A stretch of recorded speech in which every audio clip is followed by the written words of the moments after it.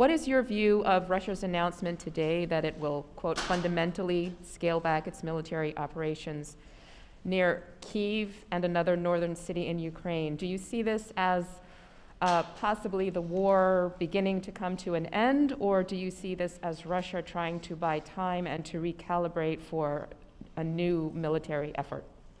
We'll see. I don't read anything into it until I see what their actions are. We'll see if they follow through on what they're suggesting. There are negotiations that have begun today, or not begun, continued today, one in Turkey and others. I had a meeting with the heads of state of uh, our four allies in NATO France, Germany, uh, uh, the United States, and, uh, and, uh, uh, and Great Britain. And there seems to be a consensus that let's just see what they have to offer.